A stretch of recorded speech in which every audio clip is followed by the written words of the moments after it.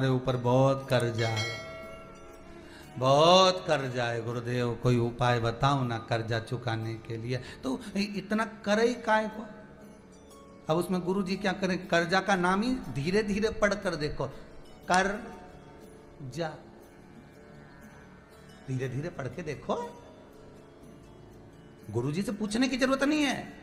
उस नाम में ही सब कुछ छुपा है कर जा किसके लिए कर? अपने परिवार के लिए। मकान बना लो, गाड़ी बना लो फैक्ट्री लगा लो, ये कर लो और कर करके जा। वही तो कर जा। किसके लिए करा? कभी गुरुजी के लिए तूने कर्जा करा? अरे बोल तो सरी। कभी किसी मंदिर का निर्माण करने के लिए तूने कर्जा करा, कभी कहीं तीर्थ व्रत का आनंद करने के लिए ब्राह्मण भोज साधु भोज संत भोज सन्यासी भोज तपस्वी भोज साधक भोज के लिए कर्जा करा। नहीं, कर किसके लिए करा? पत्नी के लिए। किसके लिए करा? बच्चों के लिए। मैं फैक्ट्री लगाऊँ, मैं दुकान लगाऊँ, मैं ये करूँ, मैं थोड़ा लोन लेके मकान बना लूँ। किसके लिए बना रहा? गुरु जी के लिए। किसके? कर। फिर जा। कर करके कि तई कर जाना। कि तई चाहे छोरों के लिए कर लो, चाहे छोरी के लिए कर लो, चाहे दामाद के लिए कर लो, चाहे पति के लिए, चाहे पत्नी के लिए, चाहे भाई के लिए, चाहे कुटुंब के लिए कभी कर कर्ज तुम दुनिया का सारा लोन तुम्हारे माथे ले लेके तुमने तो बना दिया। बाद में चुकाएगा कौन? इतना कर्जा हो गया गुरु जी अब तो जाऊँ, ऐसा लग रहा है कि सुसाइड कर लो। तो हमने कहा, बिल्कुल कर ले। उसमें टेंशन क्या है? पर मरने से पहले एक बात अच्छे से सुन ले।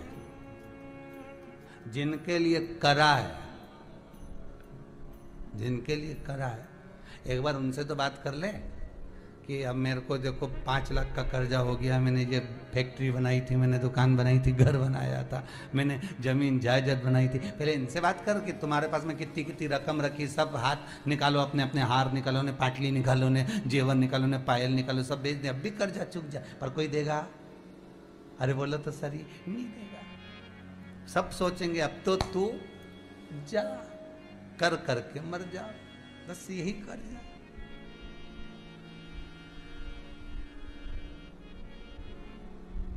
शिव कहते हैं,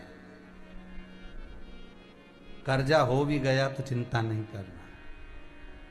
शमी का पत्ता, शहद में डुबो। श्रावण के महीने की दसवीं तिथि, कौन सी? श्रावण के महीने की दसवीं तिथि। एकादशी के एक दिन पहले, श्रावण महीने की दसवीं तिथि को शमी के पत्ते को, चाहे 21 हो 11 हो, इक्यावन हो, उसको शहद में डुबोकर शंकर भगवान के शिवलिंग पर उसको श्रृंगार करो। केवल चढ़ाना नहीं है, जब शहद में डूब जाएगा तो वो चिपक जाएगा। शिव का श्रृंगार करो। क्या होगा इससे?